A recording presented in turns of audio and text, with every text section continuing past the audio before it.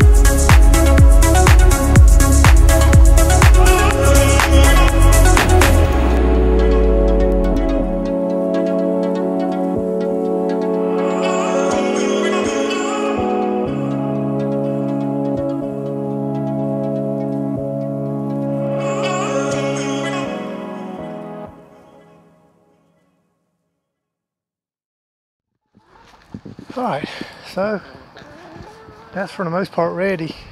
Um, while water the hay down over the ground is that I want to wash all that the nutrients and the chicken manure and the duck manure into the ground and also helps break that hay down so you know in the next week when that banana tree or banana pup gets here I'll uh, I'll go ahead and the ground will be ready for me to plant it now I still got I'm gonna have to surround that thing with some um, some chicken wire till that thing can get on up with a little height and some age onto it. Otherwise, them chickens will tear it out the frame. They steady working all day long. All day long. Lord. See what they did to my my compost pile. Ain't even a pile anymore.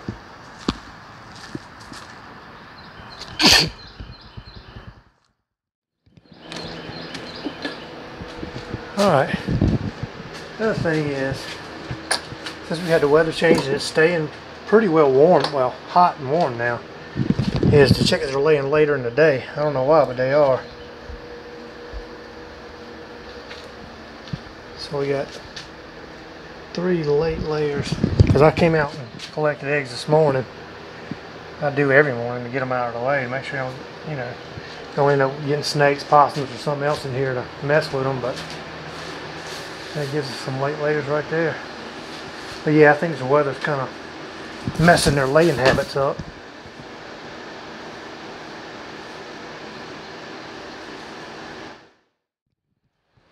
Alright, we still got the baby chickens, well they ain't babies anymore, they're getting up there, but we got the baby chicks still in here. Of course the ducks are still back over here in their little pen.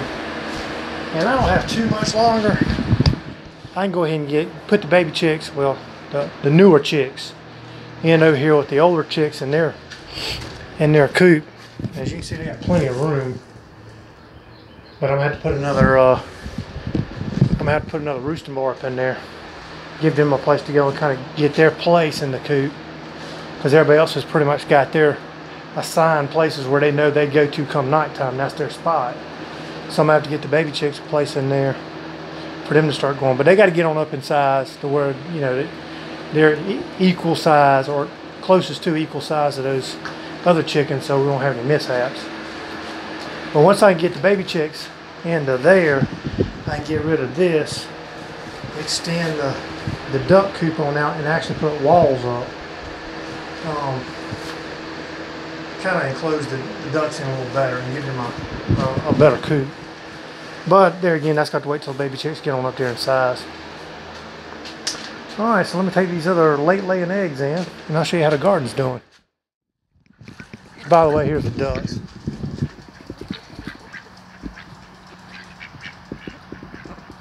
And of course the chickens, they're working on the that pile.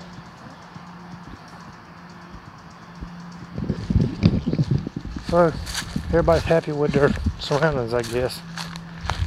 There's the baby chicks. As you can see, they ain't babies anymore. They run around doing their thing.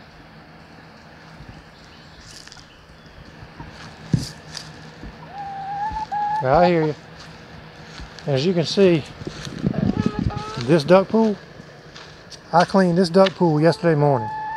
And you see it. I'm going to have to clean it this afternoon after I get everybody put up. But that's what they do to a duck pool in one day. One day. Starts out perfectly clear. Tell me ducks ain't messy. hmm.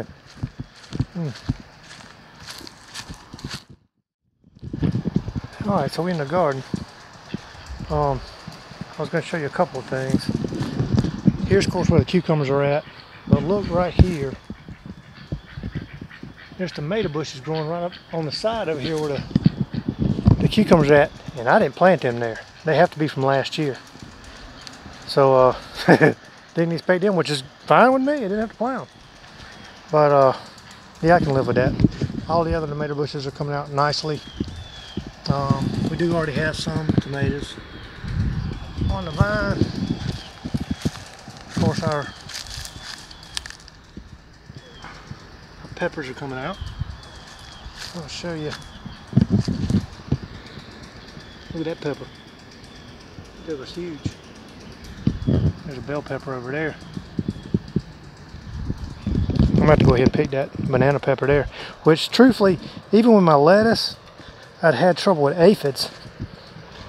Um, and I saw in this article about spraying the, the uh, your, your leafy greens down with just a dab of Dawn dishwashing liquid and some mix it up in some water.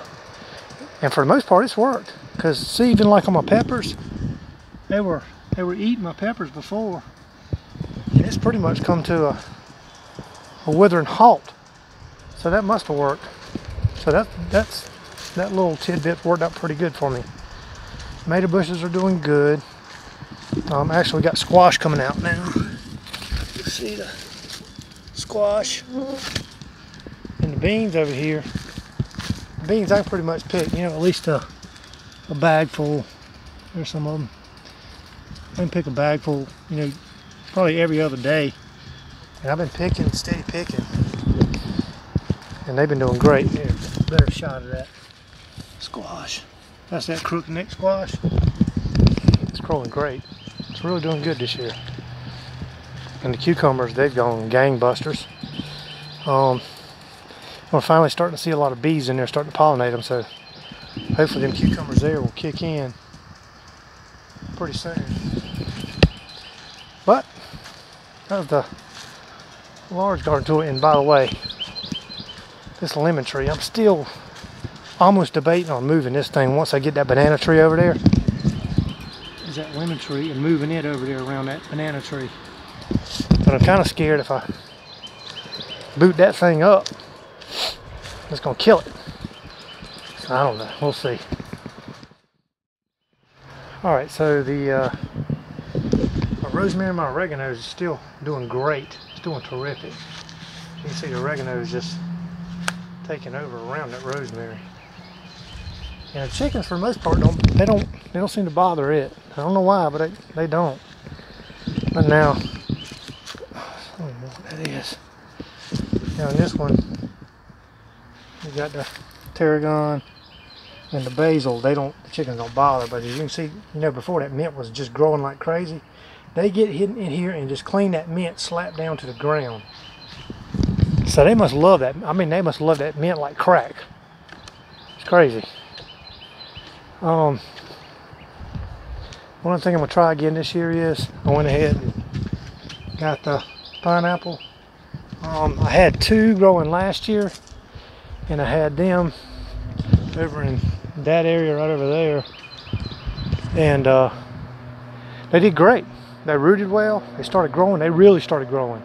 And then once that cold weather hit, boom, they died. So I just decided this year I was going to go ahead and put them in a pot. And when the winter, when the cold weather starts breaking off real cool, I just take the pineapple, take it inside. That way I, I can keep it growing every year and just increase the pot size as I need it. Um, so that's pretty much it. Um, the uh, wild blackberry vines are they're coming along. At least they took root, which is I was wondering if they were going to, and they did. So give it, you know, a couple years, we should be doing good with wild blackberries. Blueberries were on the bush, but the chickens have figured out how to jump up here and up here, and they just pick it. They stand over it, lean in, and pick it. So that was pretty much. They just. Mm, I don't know what else to do with that blueberry bush. I mean, I can only cage it in so much. Hmm.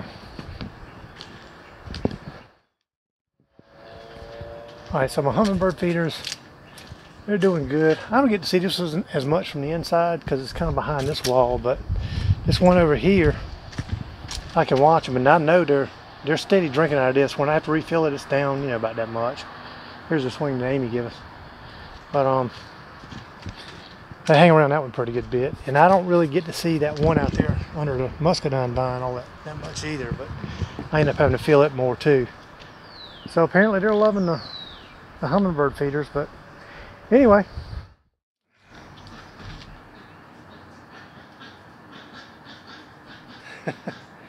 All right, so that's it for today. This is a short, sweet, to the point. Um, got a lot of projects to do, but I try to keep up to date when I do them.